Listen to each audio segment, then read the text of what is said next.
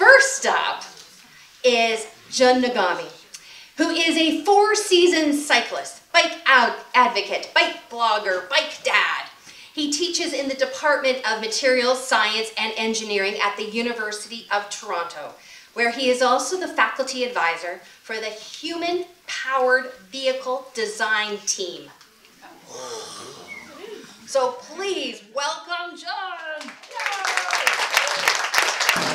Thank you, Janet Joy. Always a hard act to follow. So anyway, um, just by way of introduction, um, this is me. I'm a four-season bike commuter. I'm a bike dad, a bike advocate. I spend way too much time on Facebook posting under the name Joe Koga, and also I have a bike blog. But anyway, I'm not going to talk about any of those things tonight. What I want to talk about is, since the theme is limits, I want to talk about how fast you can go under human power. Now, I'm an engineer, and so let's put some numbers to this. So, what do I mean by human power? Okay, an elite athlete like Usain Bolt, you can think of him roughly equivalent to a cordless drill. Depending on the model that you get, you can get anywhere from about 350 to 850 watts of output power. And just to put some perspective on it, one horsepower is equal to 746 uh, watts. Okay, so that's how much power we have to play with. Put that elite athlete on a bike, and let's say we've got a professional level sprinter, he might be able to put out 700 watts for four or five minutes, and that's just enough energy to lightly brown a piece of toast. Okay? so that's what we have to work with. Now, we all know that the bicycle is one of the most efficient ways of converting power into locomotion. So the question is, how fast can you go on a bike? So if you Google the term world's fastest cyclist, these are the things that you get. Oops, sorry. Here we go. So this guy here went down the side of a mountain at a little over 100 miles an hour. Of course, he's sponsored by Red Bull. and then e- even more impressive, Deni- Denise Mueller-Korenek went just under 184 miles an hour on the Bonneville Salt Flats behind a fairing that was towed by a top fuel dragster. Unbelievable. But neither of these things is really under purely human power. I'll have a little bit more to say about Denise later in the talk. So, uh, last summer I was in a bike shop, regrettably not this bike shop, and I was surprised to see these two postcards. And so this one we all know about Bike Month, but this one was advertising something called the World Human Powered Speed Challenge. So for a week, every September, people travel from all over the world to this little town called Battle Mountain, which is in the middle of the desert in Nevada. Now, why would they do that? It just so happens that State Route 305, just south of town, is long, it's straight, it's at 4,000 feet elevation, and it just happens to have just under two thirds of 1% downward slope. And that's the maximum that's uh, allowed by the rules governing this type of event. And that makes it the fastest track in the world to set land speed records for bicycles. There's the finish line there. I don't know how that Brompton got in there. anyway, so a little bit, little bit about the history of the event. So it's been running since the year 2000, and for much of that time, the world's fastest man was this guy, Sam Whittingham. He's from Quadra Island, which is a little island off the coast of Vancouver Island, and you can see that he, he went pretty fast. Okay, now um, aerodynamic drag is the thing that holds you back from ultimate speed. So that's his bike. It's called the Varna. It's a streamlined recumbent bicycle, and that little bubble on the top is a head bubble, and there's a windshield there, and that's what Sam uses to, to peer out of the bicycle. Just to give you an idea of, the hit, uh, of how the event has grown over the years, here's a picture from 2011. There's Sam, beside him, Barbara Buatois, a woman from France. She also rides a Varna, world's fastest woman at 75 miles an hour. Okay, and then here's the uh, picture from this past fall, and it includes the crews and some of the volunteers that run the event, but you get the idea that the event has grown tremendously over the years.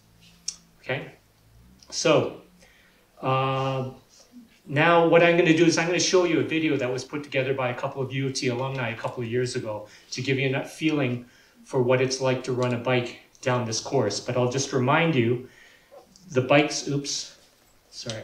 The bikes start at start, they're launched there. They have five miles to accelerate. Excuse the imperial units, but we're in Nevada. They're timed over 200 meters, and then they've got about a mile to slow down into catch. So we've got start, acceleration, timing, and then catch. And that's the sequence of events you're going to see in this video.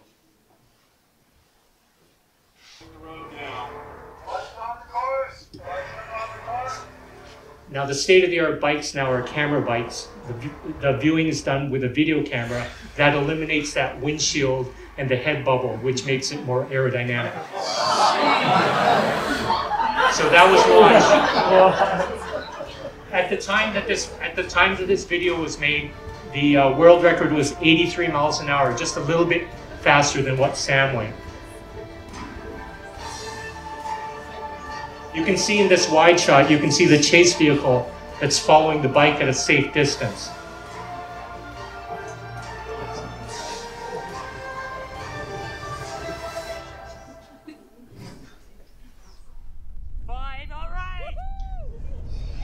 Jumping up and down. Yes, yes, yes. oh man. Oh, sick. He's fine. He's fine. Don't laugh at you went five miles in just under five minutes.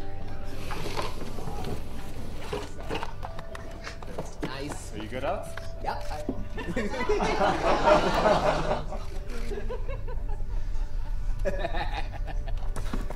Oh, that looks good. What's the deal?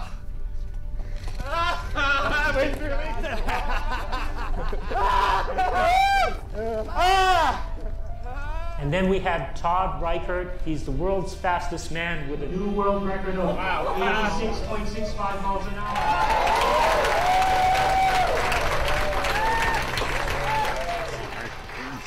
So it's always very exciting to see the bikes go down the course.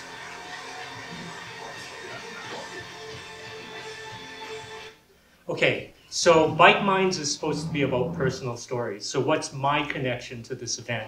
Well, the first thing is I've been going there since 2011, and as you can see from the traffic on my blog, this, it spikes every September when I'm reporting from Nevada. So that's the first connection. The second connection is that U of T Engineering has been sending a student design team every year, and I've sort of attached myself to them as their faculty advisor. Um, here are some of the here are some of the vehicles that they've developed over the years. Here's ACE is their first. Vortex was the first one that they used computer modeling to refine the shape of the bike. Blue Nose was their first camera bike, and this one here is called Eta Prime, and it's very very similar to the bike that you saw in the video. And then the other connection I have uh, with the event, you might have been able to pick up from the video, is that I am the chief timing official for the event. So what we do is we time the bikes over a distance of 200 meters to a precision of a thousandth of a second. And the other thing is these things here are wind meters. A run doesn't count if the wind is over six kilometers an hour. And so I also have the pleasure of announcing the speeds at the racers meeting after every session. The racers, of course, know roughly how fast they've gone, but they don't know if the wind, if the uh, wind was legal during their run. And I've had the pleasure of uh, announcing many, many world records over the last 10 years. So, what happened last year? Last year was an exceptional uh, year for racing. Uh, the highlight was uh, the uh, race for the women's record. So, the women's record set by Barbara back in 2010 was a little over 75 miles an hour. And then on Monday, this woman, Rosa Bas from the Netherlands, broke that record. And their team from Delft and Amsterdam were absolutely ecstatic because they had been gunning for that record for three consecutive years and they finally got there. Unfortunately for them, by the end of the week, they had been beat twice by two other women uh, uh, Vittoria Spada from Italy and Ilona Peltier from France. And Ilona is only 19 years old, and she went an incredible 78 miles an hour. And then, just as a side note, uh, Denise Mueller-Korenek, the uh, person behind the dragster, she also showed up, admittedly not on the fastest bike, and she went 70 miles an hour. So that gives you sort of a, an idea of how much more difficult it is to go fast when you're not behind a top fuel dragster. So anyway, that's what happened last year. It was very exciting. What is going to happen this year? So the absolute speed record is about 144 kilometers an hour, just about 89 miles an hour, and that's held by Todd Reichert, the guy that in the video. He came back the next year and raised the record to 89 miles an hour, which is an incredible four miles an hour faster than anyone else has ever gone. Okay, so how can we beat Todd's record? Well, one idea is more power. So this past fall, this thing showed up. It's called the Sprocket rocket. It was it was built by a bunch of crazy aerospace engineers from Southern California. It has five riders in it. Each of them is pro level, and each of them can put out a thousand watts in the sprint. So they had five thousand watts to play with. Guess how fast they went? Any guesses? They went a lot faster. 96? They went 56 miles an hour. so clearly, raw power isn't going to do it, right? It's ha- efficiency has something to do with it. So U of T also built a multiple rider bike for the first time. They call it Titan. It has two riders in there, and the bike wasn't really quite finished by the time of the competition, but they did manage to get it down the track, and they set a new tandem record of just under 75 miles an hour. And I guarantee you, we're going to be much, much faster this year. And then finally, one of our rival teams, the one from the Technical University of Delft in the Netherlands, they've also announced that they're building a tandem as well. So it'll be very interesting to see who has the fastest tandem in the world and if any of us can go 90 miles an hour. Well, not me personally, but you know what I mean. So anyway, that's it. Uh, I'd be happy to answer any questions. And if you have any highly technical questions about the bikes, uh, Calvin Moes is in the audience uh, right by the projector. He's the former captain of the design team, and he's the lead designer, builder, and rider for our tandem bicycle. Anyway, thank you very much.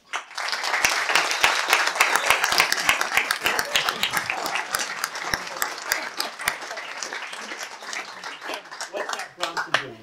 Any, any questions? How fast were you on the Brompton? Uh, we were just doing that for fun, uh, so we weren't we weren't timing that. What is your what is, what's your personal speed record? My personal speed. Oh, that's a very sad story. I have I have crashed several times, and I've never managed to get a two wheeler down the course. I did get a three wheeler down the course, and I went 49 miles an hour, which is not very good. But anyway, yeah. What what tires do you use? Uh, that's a very good question. Um, if you want a detailed discussion about that, uh, our new tandem uses 700C tires. Most of the other teams have special non-production tires. We're using the fastest production tires that we can find, and they happen to be by Vittoria at the sort of speeds that we're running. How wide? They're, uh, they're, I don't, well, how wide are they? I don't remember, Calvin. Uh, 28s? I think they're 25s. Yeah, okay, they're not that narrow. Yeah. Clinchers? Yeah, Yeah. Uh, yeah, they're clinchers, yeah. Is there like doping? Is, I, I don't I don't think we're I don't think we're that serious. I mean, I have I have observed that a lot of the racers are pretty hopped up on Red Bull, and and one of the racers that uh, I won't mention was caught huffing pure oxygen before he climbed into the bike. But anyway, yeah. I mean, it's a serious issue. There usually isn't enough ventilation in the bike, and CO2 buildup in the shell is a real is a real issue. Yes. Uh, thank you. This was fantastic. I'm just back to the, the bicycle running the toaster. So are people looking at how do we harness all this power and energy then? Well, I, I think that's more uh, a point of appreciating how much energy you're actually taking for granted that's coming out of the wall. A human can't can't can really barely a world class sprinter can barely um, uh, brown a piece of toast, and that's something that we all take for granted. So the the theme for this is you know the future of transportation is trying to use as little as energy as possible and still being able to go as fast as a normal car could on a highway. Yeah. Anything else? Yes, Ryan. Um, all the records are set in uh, Imperial, yet most of the competitors are not American, and even the timing is not done by an American. Is there any reason to do that besides the location? No, we, we, I mean, the history of the this is an American event originally. And, and, and one thing is that starting at 50 miles an hour, which is just above where I went, you get a hat. And every five miles an hour above that, you get a different color hat. And these are the most coveted things. And that's why, if we've all seen what the 85 mile an hour hat looks like, there's only one person that has it. Uh, we all want to see what the 90, 90 mile an hour hat looks like. Yes. Is there a competition for people riding a bike without like the, the dome features or like is there other classes? Well, so there are there are classes for single rider, multiple rider. There's a trike class, and there's men's and women's in each, and there's also several junior classes. But there isn't anything that says uh, it's single rider but with a windshield. Uh, pretty much all of the teams, the fastest teams, have gone to cameras now. Yeah. Yes, Peter. Do you think there's like a theoretical limit, like is 90 miles an hour? Well, I, I mean, we've done some, ca- I- what limits us on this course, I believe, is, is the amount of distance we have for braking and the amount of kinetic energy that you can dissipate. And I think that probably mid 95 miles an hour is pretty much at the theore- theoretical limit of what's manageable on this course. If we had a longer course or one at higher altitude, then you could go faster. Or a hyper tube, just a tube. Yeah, but that's that building a hyperloop tube is a little beyond the budget for this event. How dangerous is this? Like, how many injuries happen? We we're extremely fortunate that there have not been any any serious injuries. Um, this event, they make the course as as safe as possible. All the little uh, markers that are normally metal have been replaced by Nevada by plastic posts. We have very stringent rules on cars parked anywhere near the park. I, mean near the track. Uh, at, um, but in the reality, the first time there's like a death or serious injury, the event is over. Basically, yeah. I think. I mean, I don't want to. One more question. Yeah. Okay. Um, how do the athletes train? Like, do they train in those dome bikes, or do they train on regular bikes, or like how does it work? I think. I think uh, they they usually train outside of those. You can ask Calvin. He spends a lot of time training on a, on a regular trainer, but in the recumbent position because that's the position that he's pedaling in. Okay. Yeah. Okay. All right. Thank you very much.